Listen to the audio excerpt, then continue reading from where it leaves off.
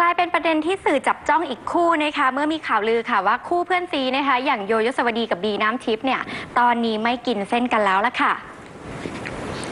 เนื่องจากก่อนหน้านี้นะคะสื่อได้เจอตัวบีน้ำทิพย์ค่ะในงานอีเวนต์แห่งหนึ่ง เมื่อถามถึงประเด็นเกาเหลาของทั้งคู่บีก็ปฏิเสธ ไม่ขอตอบคำถามสื่อถึงเรื่องนี้นะคะทำให้หลาย ๆ คนมองว่าทั้งคู่เนี่ยอาจจะเกาเหลากันจริง ๆ เพราะทั้งคู่ทำธุรกิจอาหารเสริมด้วยกันอยู่ค่ะ แต่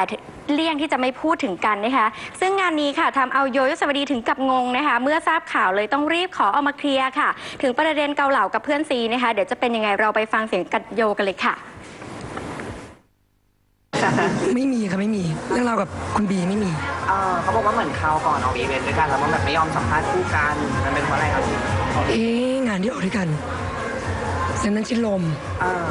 ไม่ไม่ไม่ใช่ว่าไม่สัมภาษณ์ ค่ะเพราะว่าคุณบีรีบด้วย เออเอากลับไปก่อนที่จะได้ถ่ายรูปค่ะ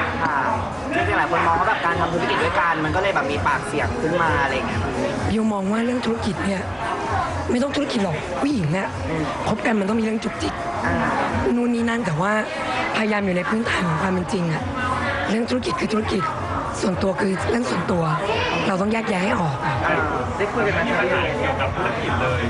อะไรนะคะไม่มี ค่ะคือจริงๆก็บอกว่า เดี๋ยวเรื่องธุรกิจโยบีเนี่ย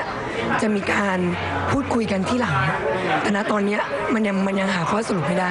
ค่ะสำหรับความสัมพันธ์ตอนนี้ก็คือยังดีกันเหมือนเดิมไม่ได้เหมือนเดิมค่ะ กับตัวโยเนี่ยคือคุณบีเป็นเหมือนเพื่อน ค่ะเหมือนน้องแล้วก็เป็น partnerอืม ยังไงก็ไม่มีวันที่จะเลิกคบกันอย่างนั้นค